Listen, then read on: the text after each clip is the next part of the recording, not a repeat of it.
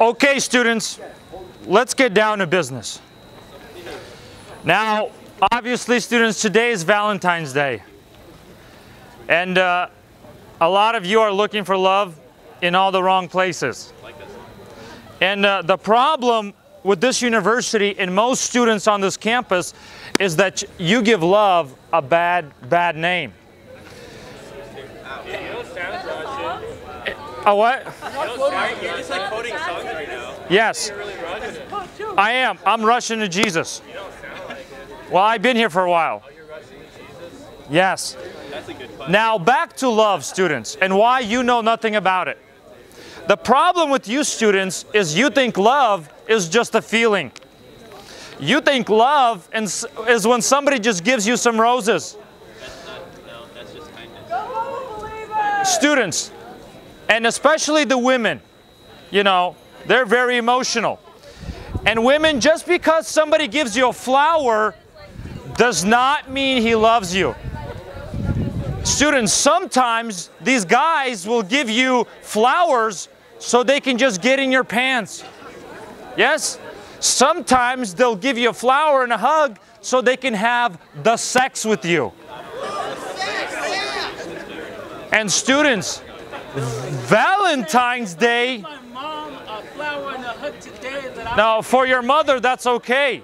But be careful because some of you, you might be fooled by the motives of these guys. And uh, so uh, be alert. That's why you got to know what real love is. Real love is sacrifice. And you know, you think some guy, if he just uh, plays some cute song to you, if he gives you flowers, gives you a hug, that he loves you. Uh, yes, that's what I'm saying. So you got to be watch out for the guys who are trying to seduce you. What about girls trying to seduce you? That's what I was going to say. Okay. Uh, Today in 2017, the girls are just as bad. Guys, I want to warn you about the women who are trying to seduce you on this campus, who are trying to have sex with you. Well, they're in this crowd right now. They kind of want to stay anonymous, probably. But a lot of these girls I heard have been getting down and dirty. Uh, they haven't been uh, living uh, holy for Jesus Christ. So, students, we're here to tell you about true love. Yes. And if you have ever wondered what true love is, students, you're looking at it. Uh, we're here to exhibit true love by telling you the things you don't want to hear. Uh, we're here to tell you the hard things. Now, I understand all your life, you know, you've been lied to. You've been babied. You've been living in your mama's basement. But now you're kind of coming into the real world. Jesus told you to love everybody, and that's what's important. That's true. I, I agree with that woman. He also says to follow my snap. And uh, so, yes, we love you, whoever you are. We even love the Democrats. Yes. Yes. Uh, we care about you people. That's why we're here. We want you. Uh, we want that you would be really loving people. And uh, Bible says this is the love of God that you keep His commandments, and His commandments are not burdensome. Now, how many of you are keeping God's commandments? All of them. Okay. Well, there's more to just murdering. The Bible says if you hate your neighbor, you're a murderer. Now, if any of you guys hate me, you're a murderer. I don't hate you. I don't even know you. Okay, if you don't know me, let me introduce myself. My name is Brother Mikhail. What's your full name? What's up, brother? uh, it's on this card right here. Uh, Brother Mikhail. Yes. So wait, so your parents named you brother? No, that's when you're a Christian, you become brothers and sisters in Christ. That's true. So, are you a Christian? Actually, I am. You are? I am. Which one are you? Which one? Are you the good one though? Is there a bad one? Yes, there are fake Christians all over. They say, they claim to be Christian, yet they're doing the sin. I was a missionary most of my life. You're a missionary? Are you still a missionary? Okay, I see. I see. No, you can keep it. I let I let you. You don't want it? Okay. Okay, she wants it. Okay. Now you're doing this thing called vaping. Yes. Yes, I am. Now, what is that about? Um, boredom. I like the clouds. I, I like see those. I like doing those. Okay, well, see, now do you smoke? No. Do you smoke other stuff? Yeah. You do. Yeah. I'm not gonna lie. Yeah. Okay, uh, yes, that's honesty, that's good. So at least you know you're not gone so uh, way off line. Now, so let me guess. Let me guess, you do the marijuana. No, I smoke marijuana. You smoke marijuana. I don't do it. Okay, well, that's what I mean. Like, inject it, whatever you guys do these days. I don't even know. And uh, so, yes, you smoke the marijuana. Well, are you going to smoke marijuana today on Valentine's Day? Actually, probably not. Okay. Now, do you have a Valentine? That's my girlfriend. I met you yesterday, didn't I? Yeah. That's my girlfriend. That's your what? That's my girlfriend. But she's a woman. What? And you're a woman. You're telling me after all this time we've known each other Oh, see, that you're interested in women? see, Thank you. I'm here to help you. See, the problem is with you is you need a good man in your life like Brother Mikhail. Yes. Brother McKelly, you sound like a fuckboy yourself. Uh, actually, see, I didn't even know to straighten out some lesbians. Yes. They probably weren't gay to begin with. Yes, uh, you know, once they saw Brother Mikhail and saw what a real man he was, you know, they said, hey, maybe there is a, you know, maybe there are good men out there. But the problem with this campus, the problem with this campus is the uh, not a lot of real men here. Uh, most of the people on this campus are just kind of like Justin Bieber, you know what I mean? Not real man. Bangers. Now you are you are a real person. Yes. Students, you are a real person. But some of you have corrupted yourself. Thank you. Yeah, thank you. Now you would look nice in a skirt. I do look nice in a skirt. Yes. And And I look even better in like in a suit too. yeah. Cuz kind of from far I'll be honest with you. From far away you can kind of think like you're a guy, you know what I It mean? happens all the time. And that's what I'm saying. You don't want to do that. See, you're a woman. You're designed differently from me. And uh, there's got to be distinction between male and female. Did you say that women are designed for males? Well, yes, females are designed for males. You got penis, you got vagina, and you got baby. Okay, wait. I have a question. I have a question for you though. Now, hold on. Wait, no. Can I ask you my question? Okay, now, what is your name? My name's Kate. Kate, I'm- Xavier. I'm Mikhail. Nice meet you, Mikhail. Okay. Okay, I have a question. Question. Why is the G spot accessible by fingers on women and the male's G spot in their asshole? Okay, that is not true. That is not a It is a true. G spot thing is a lie. No, no. Yes, it's no. it's all it's If you don't it's, know it- about it's it, all I promise you, you haven't turned any. It's all a lie. Straight. uh, no. Uh, there's no G spot in the anus. It's just designed that you would have a good bowel movement, and that's what it's designed for. So your body's designed to work a certain ways. See, now you're you have a girlfriend that's a woman. Now that ain't right. That's that's kind of perversion. Now, uh, no, you can practice when you get married. Why is it? Why isn't that right? But see, if you're having sex outside of marriage, you know, you're putting you're putting mileage on yourself, and nobody wants to buy a used car. I mean, I. No, everybody wants a new car. Well, you would do that is because you can't afford a new car. And that's what I'm saying. A lot of the people on this campus probably have like 200,000 miles on them already with dents and scratches. Yes, the Bible's, yes. I'm just giving an analogy over here. What? He's just giving an analogy. Degrading women? No. I love women. My mom's a woman. Yes. Yes. And- mom is a girl? Raise your hand. And that's how you were made. Yes. And two women do not make kids. That's why. Now, Well, they can certainly raise them. now which one are you? LGBTQRZY? I'm Kate. You're Kate. Okay.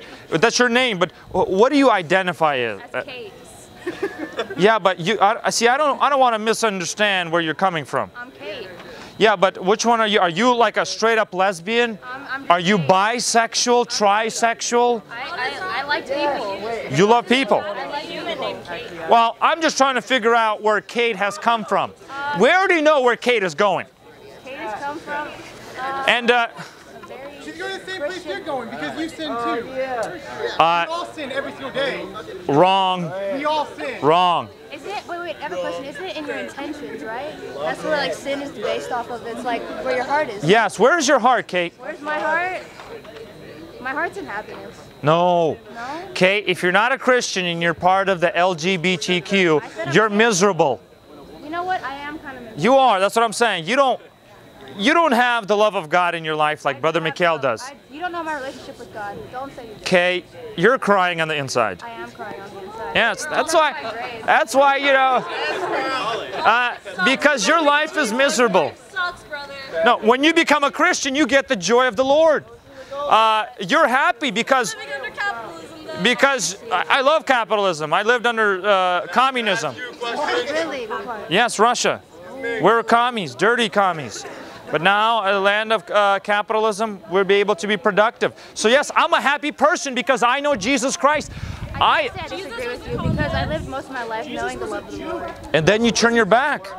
Yes, I did. Okay, then you need to come back. Come back to the light. I'm trying. Okay, we're here to bring you back.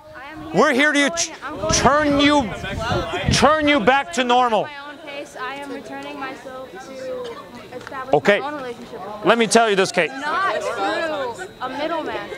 Okay, Kate, the Bible says today is the day of salvation. is. So get on your knees, cry out to God, and God will have mercy upon you. Yes, yes. But see, Christians are the best people in the world. They're the most happiest people. Because, uh, see, Brother Mikhail is the most, is the happiest person probably here. Because, because I'm special.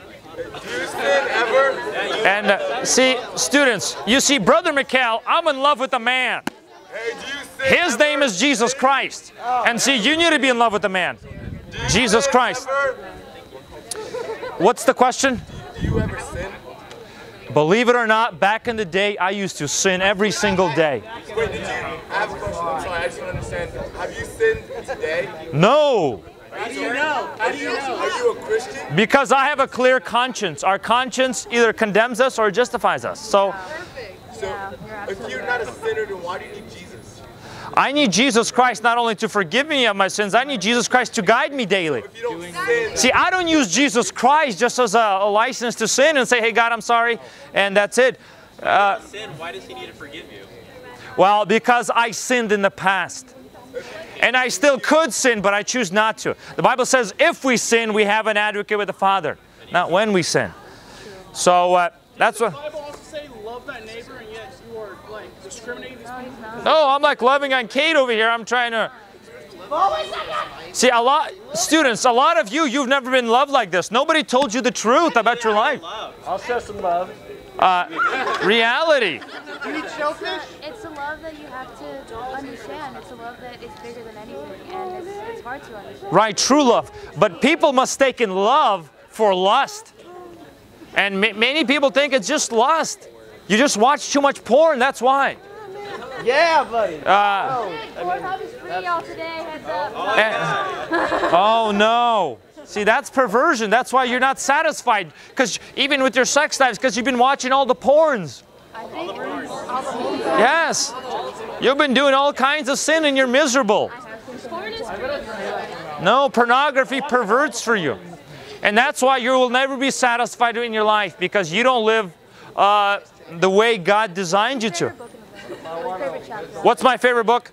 Uh, probably the Psalms or the Proverbs. Oh, really? Yes. Mine is Hebrews 11. Hebrews 11. Which one? Faith chapter. The faith chapter. Okay, you, you think you're going to make it into the faith chapter living like this? Yeah. I don't think so.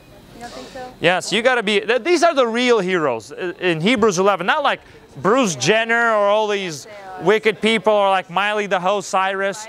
These are heroes. These are these are perverted people. Faith they left Egypt by faith. Yeah, these people. therefore, no condemnation now exists for those in Christ Jesus. Yeah, so you got to be in Christ Jesus. You calling someone a hoe in any sense is condemnation. You are. Okay, guys, come on. Is Miley Cyrus a hoe? Who are you to judge? Who are you to judge her? Who are you to judge? Because I watched a video of her and I saw her exhibiting hoish behavior. and I I came to a conclusion that ain't Christian. Yes, there's nothing wrong with judging. You judge good music from bad music. Yes, What is Jesus' greatest commandment to us? uh, to love God, And the second? uh, to love your neighbor. Is calling your neighbor a hoe loving? Sorry. Yes, end of story. And so a lot of you students, you're not loving yourself and you're not loving other people when you're having sex outside of marriage with them. Why is it? I love you if you follow my Snapchat. Why are you so oh, concerned about what we do in the bedroom? Cause I'm a loving per. Interested in this? Cause I'm a loving person. If sin is in our consciousness, Hold on, Kate has a question. if sin is in our consciousness and it's how we basically, if it guilts us or not, wouldn't love making be in the same tone? Yes, love making. If we, if we have if we have that love in our heart, if we have that pure intention in our heart, does it apply regardless if we're married to them or not? We Well, it does because. wait, can I finish? Yes, okay. If if we still feel something and we think we feel more than this this simple lust because Okay. I believe the difference between lust and love is that you start to you start to care about them more than you care about yourself. Right. And in the way that in the way that God cares about you, no? And Right. so why don't you just transfer that love to someone else, regardless if you're old enough or young enough to be married? Because simply at the point of, of our lives that we don't know what we're gonna do next, Love you we guys. don't know what's going on because you know we have all these outside forces coming in, right? Right, that's why you gotta control them. We have to do this. But one thing we can do, one thing we can do is Check this. the love. Right, and that's why you save yourself for marriage. All the time. Jesus talked more about hell than he talked about heaven. Very true. Where did he tell that they're going to help you show me in your Bible? Jesus said, unless you repent, unless you repent, you will all likewise perish. Where's the verse? He verse? also said that when you come to people and you want to free them, Scripture however, urging convert- happen. She has a Christian shirt. yes, yes, that means I'm capable of oh, speaking just like they are. He says to do so and to not seek fame or to seek reverence from other people, which is exactly what you are doing right now. I don't think I'm seeking fame doing this. I think a lot of people don't like me after this. are primarily because you have yet to come down. You have a seat. Why? Why? Why are we even here talking about this in the manner that we're doing it? Yeah. Because this is what Jesus did. Texas. Texas. No. Eat 'em up. Eat 'em up. Go, Cats, go! Eat 'em up. Eat 'em up. Go, Cats, go! He had won their hearts, and he did so by speaking to them justly. The way you are speaking is unjust. The way you are speaking is hateful. Jesus didn't use hate speech. When Jesus was talking to the woman at the well, Right. He in no way condemned her. He said you had five husbands. And the guy you're living with, he's not even your husband. So he was he was he was shaming her bad behavior. No, he was not shaming her. He was presenting to her. Jesus Christ was presenting to her her hoish behavior. Stop saying that word. She's about to knock. Hoish? Please, knock him off. And, and, and if it happened, we saw nothing, right, guys? Yeah, yeah, yeah, yeah. Nobody saw anything. There's a way to go about conversion. Right. And it is not through hate speech, and it is not through saying that someone is lower than you, that you are holier than them. That is not how you go about making people believe in our Savior. That is not it. Jesus said, What you hear in the ear, shout from the housetops. That's I'm just trying to obey Jesus Christ. I'm just trying to be heard. I want everybody to hear that Jesus Christ is the way. You're not doing it by telling them they're going to hell. Now you got John 3:17 on there. It says this: For God sent not his son into the world to condemn the world, but that the world through him might be saved. That's good. That's good. But after that is verse 18. Check this. He that believeth on him is not condemned, but he that believeth not is condemned already because he had not believed in the name of the only begotten Son. And this is the condemnation that light is come into the world, and men love darkness rather than light because their deeds were evil. For everyone that doeth evil hateth the light, neither cometh to the light, lest his deeds be reproved. But he that doeth truth cometh to the light, that his deeds may be made manifest Sir, So yes, you people hate the light because you're living in sin. Right, that's for the Jewish people. Uh, that's for the, we're talking about, we're talking about the moral law. We're talking about the New Testament. Sir, if you believe yourself equal, step down off the pedestal. I am equal. I'm just, you know, I want Step down off the pedestal then. that does not make me really equal. Look down at realize that you're giving legitimacy to him as a Christian or as a person who's actually saying something that's logical. He's just doing this so that you can I wouldn't do that. It's completely about It's not real. No, I, I'm out here because I love you sinners. Go out here. And I want the best for you. That is arrogance. And I want you to repent of your sin. What is your sin that you don't want to stop doing? Living. Living. A. Well, human if you're not a. You done, sir? Hello. Hi.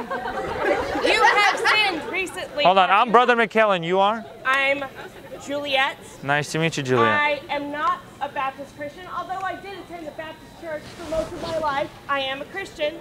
However, I do realize that I do sin. Okay, stop it. Yeah, okay, shush, shush.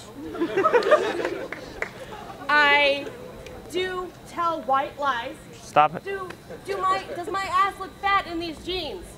No. No, no of course not. I'm not gonna say no. Your fat ass does make you look fat in those jeans. but we all sin in our own little tiny ways.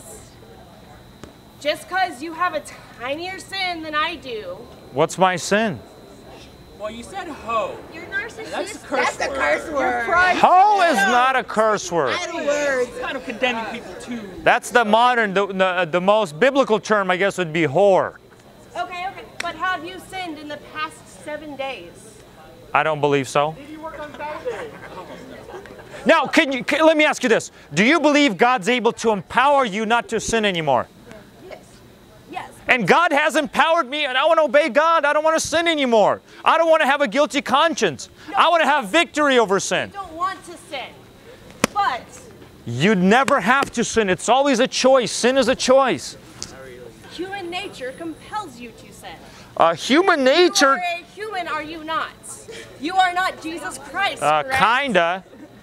You are kinda. You are not Jesus Christ. Yes. The other portion.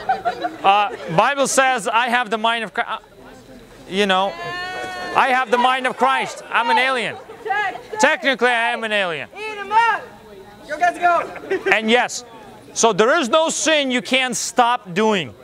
You can always obey God. You can always choose to love God. This guy. I know you can be just like Brother Mikhail. You can, want to be like you. you can be happy and holy. You don't have to sin every day. I'm perfectly happy the way I am. Now, what's your biggest sin, would you say? Well, let's see. Oh. Anxiety.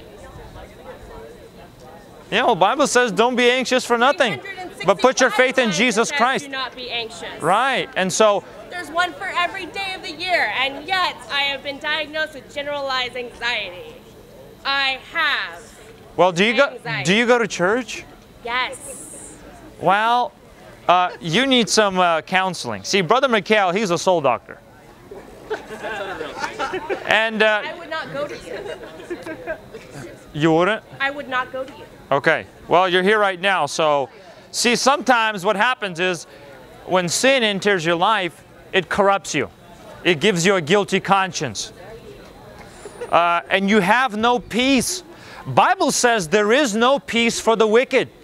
Then I guess sin gave me borderline personality disorder as well. Right. Yes, that's what I'm saying. You're so you're confused. You could be demon possessed. Who knows? If you find God, you won't have any mental disorders. Right. Okay. You'll have the mind of Christ. Jesus Christ will deliver you. You know that is completely fucking Oh. bullshit. I spent years. Okay, you just cussed. You're not a Christian. You're fired. Fuck you, man. Fuck you. See, that's the problem. You have sin in your life. You need to surrender to Jesus Christ. You need to embrace Jesus Christ. So there, there are people out there who are practicing Christians who have mental disorders. Like I what? have anxiety, depression. I am Christian. My mother is a Christian, has been her whole life, has depression. What are you depressed about? I don't have to be depressed about anything, sir. Well, cheer up. I don't think that. Oh, okay. Jesus Christ died for you.